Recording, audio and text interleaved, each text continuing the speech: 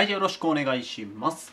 えー今回は高校数学数2の指数関数 ① グラフ編をお送りします。で、こっからですね、まあ、指数は続いてるんですけど、指数関数というタイトルで動画を撮っていきます。これもちょっとシリーズになりますね。で、まず1つ目はグラフ編です。で、今回はポイントが1問、で、グラフを書く問題が2問、計3問となっておりますので、できそうな子はね、ぜひ動画を止めてやってみてください。で、ちょっと確認してもらって分かんないのがあれば、今からね、全部やっていきますんで、聞いてもらえたらと思います。いいかな？じゃあ、早速ね、まずポイントの方からやっていきますので、どうぞよろしくお願いします。よし、じゃあ行きましょう。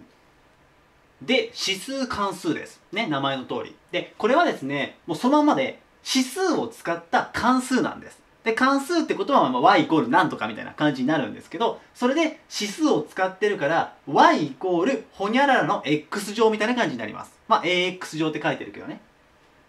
で、ルールとして、まず a は正です。正。0よりは大きいと。で、1じゃないっていう。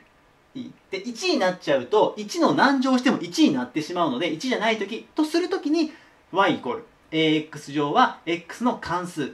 で、関数 y イコール a の x 乗を a をほにゃららとする x の指数関数と言います。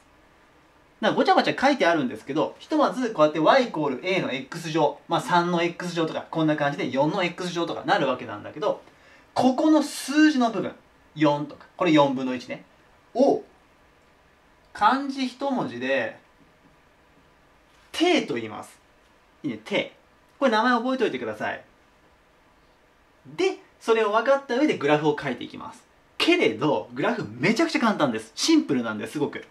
で、あの、形もね、ぜひ覚えてほしいんですが、まず、y イコール4の x 乗です。いい？で、この時、ポイントとしては、その定の部分、4ね、定ちょっと A で書きますけど、定の部分が1より大きい時です。で、こっち、先に書いちゃうか。青にしとこうね。こっちは、まずね、0より大きいのはルールだから、0より大きくて1よりちっちゃい時に分けてください。指数関数はこの2つ大きく分けて覚える。必ず。で、これ4分の1なんで0から1の間にあるでしょ。で、こっちは4だから1より大きいと。で、この時に、まあグラフね、すごく似てるんだけど、両方とも。ちょっと待ってね、y でしょ。下は、まあこのいいか。でですね、もう x 軸下の方に持ってっちゃって大丈夫です。で、0と。こんな感じでいいかな。で、結論からいきます。結論から。ちょっとね、俺下手くそなんであれなんですけど、結論からいくと、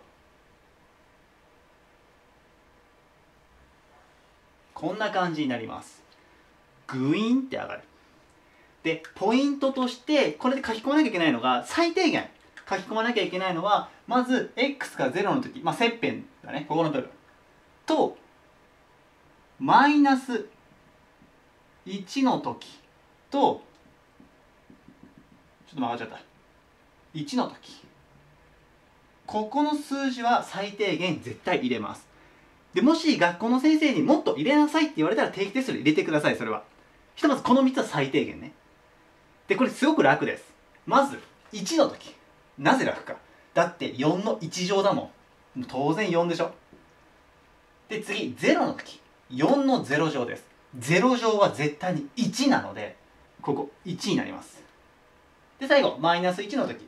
で、これ、マイナス1の時は、4のマイナス1乗は、これ一応書こうか。4のマイナス1乗は、4の1乗分の1と同じだったね。マイナスはこう分母に持ってこれるから。だから4分の1なのね。ちょっとね、図的に上に行っちゃいましたけど、ちょっと許して。4分の1になります。この3つを最低限記入する。で、大事なことは、これ、X 軸が全近線になります。つまり、X 軸に絶対くっつかないこと。いい。どんなに行ってもくっつきません。ゼロにならない。っていうのが大事。で、あとは、右上がりです。で、今回覚えてほしいのは、その、定が1より大きい時。今4にしてるけど。時は、右に上がっていくの。つまり、X が増えれば増えるほど、Y の値はどんどん増えていくんだ。っていうのを覚えておいてください。これ次回以降使うので、この知識ね。で、じゃあ次。y イコール、かっこ4分の1の x 乗です。で、これどうなるかっていうと、また同じように。ちょっと待ってね。Y 軸書いて、下の方に x 字書いていくと。で、これ大丈夫かな？大丈夫ね。よいしょ。で、0でしょ？で、今度どうなるかっていうと、こっち、グイーンって言ってるでしょ？で、本当はこう書いた方がいいんだけど、自分こっちの方がやりやすいんで、逆なんです、今度。こういうふうになります。こっちはグイーンって上がってたんで、今度逆から上がっていく感じ。正しく言えば下がっていくんだけど、本当はね。まあ、書く上ではそう覚えてもいいね。で、この中で記入しなきゃいけないのはさっきと同じです。マイナス1、0、1の時です。つまり、1の時。ここ。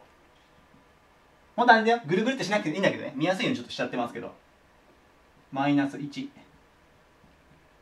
ここね。と、あとはここです。0の時。で、これは、まあ1からいっちゃうか。1を入れると、そのまま4分の1です。だから、ここ4分の1。0を入れます。定が分数だろうが、0乗は1なの。だから必ず1を通る。0の1をね。で、マイナス1乗入れると、さっきと逆です。マイナス1乗すると、またこの中がぐるっと反対になるので、結局4になります、これ。ここね。これで完成。で、さっきと同じで、ここが分数、まあ、つまりね、まあ、分数というか、0から1の間になったとしても、x 軸は全近線です。絶対くっつかない、ここ。下がり続けるんだけど、くっつ、くっついちゃダメです。くっついたらバツくらうからね。で、x が増えれば増えるほど、こっちは減っていくんです。さっき自分が分数って言っちゃいましたけど、これ分数の時に下がっていくって覚えちゃダメだよ。定が0から1の時です。なぜかっていうと、普通に分数で2分の3とかで出されたら、これ1超えてるからね。こっちのグループに入っちゃうからさ。だから、定が0から1の時は下がっていくんだって。定が1より大きい時は上がっていくんだと覚えてください。これが指数関数のグラフ。もう、この2つしかないから大きく分けて、こうやってガンってね。っていう感じで覚えていただければと思います。では、今回は高校数学数2の指数関数丸1グラフ編をお送りしました、えー、今回もねここまで見ていただいて本当にありがとうございました。でシリーズ続いてって次丸2が性質編です。ねそれ次回お送りしますのでもしよかったらそっちの方も見てみてください。ほんじゃ今回はこれで終わります。以上です。ありがとうございました。